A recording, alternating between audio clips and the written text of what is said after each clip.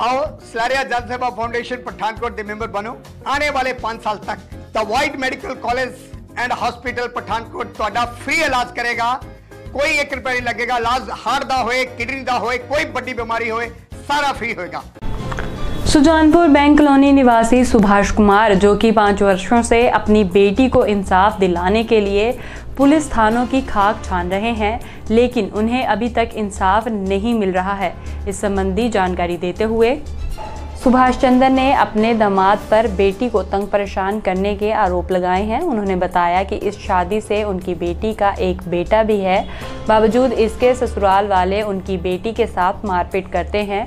उन्होंने बताया कि वो पिछले पाँच सालों से इंसाफ के लिए भटक रहे हैं, लेकिन अब तक उन्हें इंसाफ नहीं मिल पाया है। ਨਹੀਂ ਕਿਤੇ ਰਹਿੰਦੇ ਹੋਣਗੇ ਕੀ ਜਗ੍ਹਾ ਹੋਵੇ ਇਹ ਕਿਤੇ ਰਹਿੰਦੀ ਹੋਏਗੀ ਹੈ? ਕਦੇ ਤੁਹਾਨੂੰ ਮਨ ਤੋਂ ਉੱਥੇ ਵੀ ਤਾਂ ਮੁੰਡੇ ਦੇ ਮਾਂ ਪਿਓ ਸਿਰ ਲੱਗ ਗਿਆ ਆਏ ਹੋਏ ਨੇ ਕੋਈ ਭੈਣ ਭਰਾ ਕੋਲ ਹੋਏਗਾ ਨਾ ਮਗਰ ਕੋਈ ਦੇ ਕੋਈ। ਇਹ ਬੈਠਕ ਕੀਤੀ ਆ ਰਹੀ ਹੈ ਕੀ ਕਾਰਨ ਸਰ ਇਹ ਬੈਠਕ ਅੱਜ ਅਸੀਂ ਆਪਣੇ ਭਾਸ਼ਾ ਏਕਤਾ ਮੰਚ ਪੰਜਾਬ ਦੀ ਮੀਟਿੰਗ ਜਿਹੜੀ ਆਪਣੇ ਨਿਵਾਸ ਥਾਂ ਤੇ ਇਸ ਲਈ ਕਰ ਰਹੇ ਹਾਂ ਕਿ ਪਿਛਲੇ 50 ਸਾਲਾਂ ਤੋਂ ਮੇਰੀ ਬੇਟੀ ਦਾ ਜਿਹੜਾ ਮਸਲਾ ਆ ਉਹ ਪੁਲਿਸ ਪ੍ਰਸ਼ਾਸਨ ਵੱਲੋਂ ਮੈਨੂੰ ਇਨਸਾਫ ਨਹੀਂ ਦਿੱਤਾ ਜਾ ਰਿਹਾ। ਮੈਂ ਵੂਮਨ ਸੈੱਲ ਦੇ ਵਿੱਚ ਵੀ ਐਸਐਸਪੀ ਸਾਹਿਬ ਰਹੀ ਇੱਕ ਦਰਖਾਸਤ ਜਿਹੜੀ ਬੂਮਨ ਸੈੱਲ ਨੇ ਇਨਕੁਆਇਰੀ ਕੀਤੀ, ਉਹਦੇ ਵਿੱਚ ਵੀ ਕੁੜੀ ਦੇ ਮਾਂ, ਪਿਓ, ਭੈਣ ਭਰਾ ਸਾਰਿਆਂ ਨੇ ਲਿਖਿਆ ਕਿ ਕੁੜੀ ਸਾਨੂੰ 27 ਨੂੰ 17 ਨੂੰ ਮਾਰ ਕੁਟਾਈ ਕਰਕੇ ਆਪਣੇ ਪੇਕੇ ਘਰ ਚਲ ਗਈ ਸੀ। ਜਦ ਕਿ ਕੁੜੀ 24 ਨੂੰ ਸਿਵਲ ਹਸਪੀਟਲ ਪਠਾਨਕੋਟ 'ਚ ਐਡਮਿਟ ਹੋਈ ਆ 25 ਨੂੰ ਉਹਦੇ ਘਰ ਬੱਚਾ ਹੋਇਆ ਤੇ 27 ਨੂੰ 17 ਨੂੰ ਇਹਨਾਂ ਨੂੰ ਕਿਸ ਤਰ੍ਹਾਂ ਮਾਰ ਕੁੱਟ ਸਕਦੀ ਸੀ। ਅਸੀਂ ਇਸ ਲਈ ਇਸ ਸਾਰਾ ਪਰਚੀਆਂ ਲਾ ਕੇ ਸਿਵਲ ਹਸਪੀਟਲ ਦੀਆਂ ਤੇ ਇਹਨਾਂ ਨੂੰ ਦੱਸਿਆ ਆਪਣੇ ਪੁਲਿਸ ਪ੍ਰਸ਼ਾਸਨ ਨੂੰ, ਪਰ ਇਹਨਾਂ ਨੇ ਕੋਈ ਕਾਰਵਾਈ ਨਹੀਂ ਕੀਤੀ। ਉਹਦੇ ਬਾਅਦ ਚ ਜਦੋਂ ਪੁਲਿਸ ਨੇ ਲਿਖਦੇ ਵੂਮਨ ਸੈੱਲ ਦੀ ਲੇਡੀ ਨੇ ਲਿਖਿਆ ਕਿ ਮਾਮਲਾ ਇਹਦਾ ਮਤਲਬ ਕਿ ਕੁੜੀ ਮਾਰਕਟਾਈ ਚੱਲ ਗਿਆ। ਮੈਂ ਉਹਦੀ ਰੀ ਇਨਕੁਆਇਰੀ ਕਰਾਈ ਜਿਹਦੀ ਡੀਐਸਪੀ ਲਲਿਤ ਸ਼ਰਮਾ ਨੇ ਇਨਕੁਆਇਰੀ ਕੀਤੀ। ਉਸ ਇਨਕੁਆਇਰੀ ਦਾ ਦਰਖਾਸਤ ਦਾ ਨੰਬਰ ਹੈ 623 ਪੇਸ਼ਗੀ ਮਿਤੀ 20/7/20 ਜਿਸ ਦੀ ਪੜਤਾਲ ਉਪ ਕਪਤਾਨ ਪੁਲਿਸ ਸਥਾਨਕ ਪਠਾਨਕੋਟ ਵੱਲੋਂ ਅਤੇ ਇਸੇ ਤਰ੍ਹਾਂ ਇਸੇ ਹੋਰ ਦਰਖਾਸਤ ਨੰਬਰ 763 ਪੇਸ਼ਗੀ ਮਿਤੀ 16/4/2021 ਜਿਸ ਦੀ ਪੜਤਾਲ ਕਪਤਾਨ ਪੁਲਿਸ ਸਥਾਨਕ ਪਠਾਨਕੋਟ ਵੱਲੋਂ ਅਤੇ ਇਸੇ ਤਰ੍ਹਾਂ ਇੱਕ ਹੋਰ ਦਰਖਾਸਤ ਦਰਖਾਸਤ ਨੰਬਰ 2338 ਆਈਜੀਪੀ ਮਿਤੀ 30/8/2021 ਪਲੱਸ 2217 ਆਈਜੀਪੀ ਮਿਤੀ 10/9/2021 ਜਿਸ ਦੀ ਪੜਤਾਲ ਕਪਤਾਨ ਪੁਲਿਸ ਜੁਰਮ ਔਰਤਾਂ ਦੇ ਬੱਚਿਆਂ ਪਠਾਨਕੋਟ ਨੇ ਕੀਤੀ ਹੋਈ ਆ। ਉਪਰੋਕਤ ਸਾਰੇ ਜਾਂਚ ਅਧਿਕਾਰੀਆਂ ਨੇ ਇਹੋ ਹੀ ਆਪਣੀ ਜਾਂਚ ਰਿਪੋਰਟਾਂ ਵਿੱਚ ਲਿਖਿਆ ਕਿ ਮੁੰਡੇ ਨੇ ਕੋ ਆਪਣਾ ਕੁੜੀ ਦੇ ਉੱਤੇ ਸੈਕਸ਼ਨ 9 ਦਾ ਕੇਸ ਕੀਤਾ ਹੋਇਆ ਹੈ। ਜਦ ਕਿ ਅਸੀਂ ਜਿਹੜੀ ਹੁਣ ਇਨਕੁਆਰੀ ਹੋਈ ਆ, ਆਪਣੇ ਐਸਪੀ ਹਰਪਾਲ ਸਾਹਿਬ ਨੇ ਕੀਤੀ ਉਹਨਾਂ ਨੇ ਵੀ ਆਪਣੀ ਜਾਂਚ ਰਿਪੋਰਟ ਦੇ ਵਿੱਚ ਇਹੋ ਲਿਖਿਆ ਕਿ ਮੁੰਡੇ ਨੇ ਕੁੜੀ ਦੇ ਉੱਤੇ ਸੈਕਸ਼ਨ 9 ਦਾ ਕੇਸ ਕੀਤਾ ਹੋਇਆ ਤੇ ਕੁੜੀ ਨੇ ਮੁੰਡੇ ਤੇ ਖਰਚੇ ਦਾ ਕੇਸ ਕੀਤਾ ਕਾਪੀ ਨਾਲ ਲੱਥੀ ਹੈ। ਪਰ ਜਦੋਂ ਮੈਂ ਰਿਪੋਰਟ ਲਈ ਤੇ ਮੈਨੂੰ ਕਿਸੇ ਤਰ੍ਹਾਂ ਦੀ ਕੋਈ ਕਾਪੀ ਨਹੀਂ ਮਿਲੀ ਤੇ ਫਿਰ ਮੈਂ ਇਹ ਨਾ ਮਿਲਣ ਤੋਂ ਬਾਅਦ ਮੈਂ ਇਹਨਾਂ ਨੂੰ ਇੱਕ ਪ੍ਰਥਮ ਅਪੀਲ ਡੀਆਈਜੀ ਸਾਹਿਬ ਨੂੰ ਪਾਈ। ਡੀਆਈਜੀ ਸਾਹਿਬ ਵੱਲੋਂ ਆਰਟੀਆਈ ਬ੍ਰਾਂਚ ਵੱਲੋਂ ਉਹਨਾਂ ਨੂੰ ਫੋਨ ਕੀਤਾ ਗਿਆ। ਮੈਂ ਉੱਥੇ ਡੀਆਈਜੀ ਸਾਹਿਬ ਨੂੰ ਵੀ ਮਿਲਿਆ ਸੀਗਾ।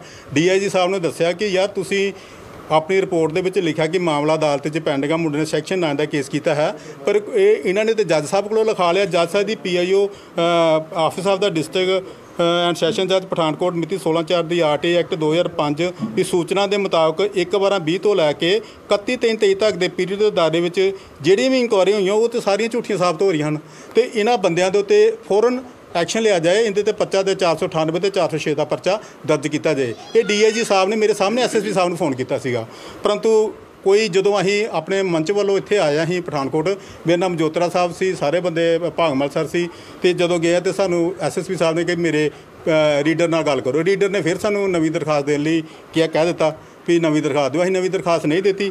ਇਸੇ ਦੌਰਾਨ ਹੁਣ ਮੇਰੀ ਆਪਣੇ ਆਰਟੀਆਈ ਬ੍ਰਾਂਚ ਵੱਲੋਂ ਫੋਨ ਆਇਆ ਕਿ ਤੁਸੀਂ ਮੁੜ ਕੇ ਆਪਣੇ ਐਸਐਸਪੀ ਸਾਹਿਬ ਨੂੰ ਮਿਲੋ, ਜਿਹੜੀ ਤੁਸੀਂ ਕਹਿੰਦੇ ਮੈਨੂੰ ਕਾਪੀ ਨਹੀਂ ਮਿਲੀ, ਤੇ ਉਹ ਕਾਪੀ ਤੁਸੀਂ ਉੱਥੋਂ ਲੈ ਲਓ। ਜਦੋਂ ਮੈਂ ਉੱਥੋਂ ਕਾਪੀ ਲੈਣ ਲਈ ਮਿਤੀ 19 7 ਨੂੰ ਗਿਆ ਉੱਥੇ, ਤੇ 19 7 ਦੇ ਦੌਰਾਨ ਮੈਨੂੰ ਉੱਥੇ ਜਿਹੜੀ ਕਾਪੀ ਇਹਨਾਂ ਨੇ ਦਿੱਤੀ ਹੈ, ਇਹ ਦਰਖਾਸਤ ਨੰਬਰ ਹੈ।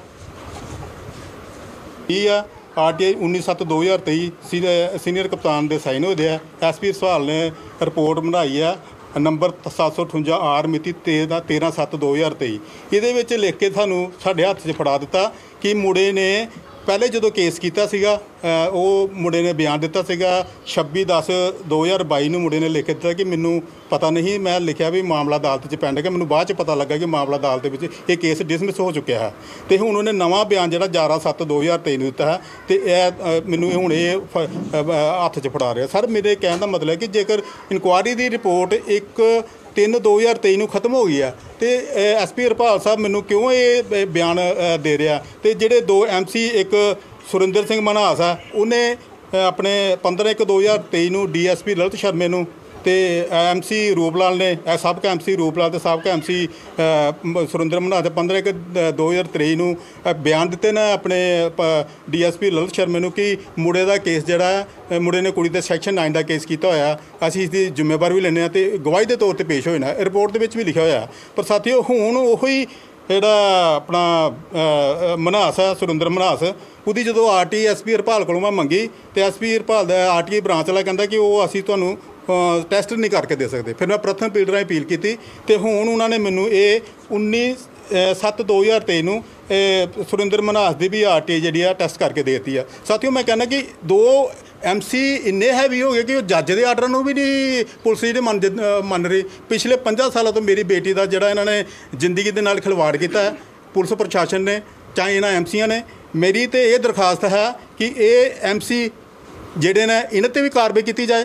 ਤੇ ਜਿਹੜੇ ਪੁਲਿਸ ਪ੍ਰਸ਼ਾਸਨ ਦੇ ਪੰਜੇ ਪ- ਭਾਵੇਂ ਉਹ ਐਸਪੀ ਆ ਤੇ ਚਾਹੇ ਡੀਐਸਪੀ ਚਾਹੇ ਵੂਮਨ ਸੈਲ ਦੀ ਮੈਡਮ ਰਵਿੰਦਰ ਕੌਰ ਆ, ਜਿਨ੍ਹਾਂ ਨੇ ਗਲਤ ਇਨਕੁਆਇਰੀ ਕੀਤੀ ਹੈ, ਕੁੜੀ ਮਾਰ ਕੁਟਾਈ ਕਰਕੇ 27 ਨੂੰ 17 ਨੂੰ ਆਪਣੇ ਪੇਕੇ ਘਰ ਚਲ ਗਈ ਹੈ ਇਹਨਾਂ ਸਾਰਿਆਂ ਦੇ ਉੱਤੇ ਕਾਰਵਾਈ ਕਰਕੇ ਇਹਨਾਂ ਨੂੰ ਡਿਸਮਿਸ ਤੇ ਟਰਮੀਨੇਟ ਕੀਤਾ ਜਾਏ। ਤਾਂ ਕਿ ਮੇਰੀ, ਮੈਂ ਡੀਜੀਪੀ ਸਾਹਿਬ ਨੂੰ ਮੰਗ ਕਰਦਾ, ਮੈਂ ਇਹ ਮੰਗ ਮੁੱਖ ਮੰਤਰੀ ਆਪਣੇ ਭਗਵੰਤ ਮਾਨ ਜੀ ਨੂੰ ਮੰਗ ਕਰਦਾ ਆਈਜੀਪੀ ਪੰਜਾਬ ਨੂੰ ਮੰਗ ਕਰਦਾ। ਮੈਂ ਆਈਜੀ ਸਾਹਿਬ ਨੂੰ ਇੱਕ ਦਰਖਾਸਤ ਐਸਪੀ ਹਰਪਾਲ ਦੇ ਅਗੇਂਸਟ ਲਿਖ ਕੇ ਦਿੱਤੀ ਹੈ ਕਿ ਇਹਨਾਂ ਨੇ ਗਲਤ ਇਨਕੁਆਇਰੀ ਕੀਤੀ ਇਹਦੇ ਤੇ ਐਕਸ਼ਨ ਲਿਆ ਜਾਏ। ਪਰੰਤੂ ਅਜੇ ਤੱਕ ਮੈਨੂੰ ਉਹ 13 ਸੱਤ ਨੂੰ ਮੈਂ ਰਜਿਸਟਰੀ ਕੀਤੀ ਸੀ 14 ਸੱਤ ਨੂੰ ਉਹਨਾਂ ਨੂੰ ਮੇਰੀ ਰਜਿਸਟਰੀ ਆਈਜੀ ਸਾਹਿਬ ਨੂੰ ਡਿਲੀਵਰ ਵੀ ਹੋ ਚੁੱਕੀ ਪਰ ਅਜੇ ਤੱਕ ਮੈਨੂੰ ਉਹਦਾ ਕੋਈ ਰਿਸਪੌਂਸ ਨਹੀਂ ਮਿਲ ਰਿਹਾ। ਮੇਰੀ ਇਹੋ ਮੰਗ ਹੈ ਕਿ ਇਹ ਜਿਹੜੀ ਐਸਪੀ ਹਰਪਾਲ ਨੇ ਮੈਨੂੰ ਦਿੱਤੀ ਹੈ, ਇਹ ਤੇ 14 2 2023 ਦਾ ਜਿਹੜਾ ਡਿਸਮਿਸ ਹੋਇਆ ਕੇਸ ਦਾ ਉਹਦੀ ਸਰਟੀਫਾਈਡ ਕਾਪੀ ਲਈ ਆ। ਸਰਟੀਫਿਕੇਟ ਕਾਈ ਤੋਂ ਕਾਪੀ ਦੇ ਹਿਸਾਬ ਦੇ ਪੀਪੀਐਸ ਅਧਿਕਾਰੀ ਕਿਸ ਤਰ੍ਹਾਂ ਦੀ ਰਿਪੋਰਟ ਬਣਾ ਰਿਹਾ? ਕਿਆ ਜਦੋਂ ਟ੍ਰੇਨ ਇਹਨਾਂ ਨੂੰ ਪੀਪੀਐਸ ਦੇ ਅਧਿਕਾਰੀ ਅਧਿਕਾਰੀਆਂ ਨੂੰ ਅਫਸਰਾਂ ਨੂੰ ਪੁਲਿਸ ਮਹਿਕਮਾ ਕੋਈ ਟ੍ਰੇਨਿੰਗ ਨਹੀਂ ਦਿੰਦਾ? ਉਹਨਾਂ ਨੂੰ ਇਹ ਨਹੀਂ ਪਤਾ ਕਿ ਇਹ ਐਚਐਮ 178 ਤੇ ਜਿਹੜਾ ਇਹਦਾ ਕਿ ਇਹਦਾ ਵੀ ਨੰਬਰ ਸੇਮ ਹੈ 25 4 2019 ਤੇ ਜਿਹੜਾ ਮੈਂ ਜੱਜ ਸਾਹਿਬ ਦਾ ਅਸਲ ਆਰਡਰ ਜਿਹੜਾ ਸਰਟੀਫਿਕੇਟ ਕਾਪੀ ਨਾਲ ਲਈ ਹੈ ਉਹ ਵੀ ਮੇਰੀ ਦਰਖਾਸਤ ਦੇ ਨਾਲ ਅਟੈਚ ਹੈ ਤੇ ਉਹ ਜਿਹੜੇ ਆਰਡਰ ਹੈ ਉਹਦੇ ਨਾਲ ਟੈਲੀ ਨਹੀਂ ਕਰਕੇ ਇਹ ਦੋਸ਼ੀਆਂ ਨੂੰ ਕਿਉਂ ਬਚਾ ਰਿਹਾ? ਮੈਨੂੰ ਇਸ ਚੀਜ਼ ਦਾ ਨਹੀਂ ਪਤਾ ਲੱਗ ਲੱਗ ਰਿਹਾ। ਇਹ ਪੁਲਿਸ ਪ੍ਰਸ਼ਾਸਨ ਦੋ ਐਮਸੀਆਂ ਦੇ ਦਬਾਅ ਥੱਲੇ ਆ ਕੇ ਕੰਮ ਕਿਉਂ ਕਰ ਰਹੀ ਹੈ? ਸਾਡੀ ਤਾਂ ਕਿਸਮਤ ਮਾੜੀ। ਜਦੋਂ ਸਾਡੀ ਕਾਂਗਰਸ ਕੁੜੀ ਦਾ ਵੂਮਨ ਸੈਲ ਦੇ ਵਿੱਚ ਕੇਸ ਸੀਗਾ, ਉਦੋਂ ਇਹ ਸੁਰਿੰਦਰ ਮਨਹਾਰ ਸੌਰੀ ਬੀਜੇਪੀ 'ਚ ਸਨ। ਜਦੋਂ ਸਾਡਾ ਕੇਸ ਆਪਣੇ ਐਸਪੀ, ਡੀਐਸਪੀ ਲਲਿਤ ਸ਼ਰਮਾ ਕੋਲ ਗਿਆ, ਉਦੋਂ ਇਹਨਾਂ ਇੱਕ ਪਾਰਟੀ ਬਦਲੀ ਤੇ ਕਾਂਗਰਸ ਪਾਰਟੀ 'ਚ ਆ ਗਏ। ਹੁਣ ਸਾ- ਸਾਡਾ ਕੇਸ ਐਸਪੀ ਹਰਪਾਲ ਕੋਲ ਗਿਆ, ਹੁਣ ਇਹ ਪ- ਪਾਸਾ ਬਦਲ ਕੇ ਤੇ ਆਮ ਆਦਮੀ ਪਾਰਟੀ ਚ ਕੋਲ ਚੱਲ ਗਏ।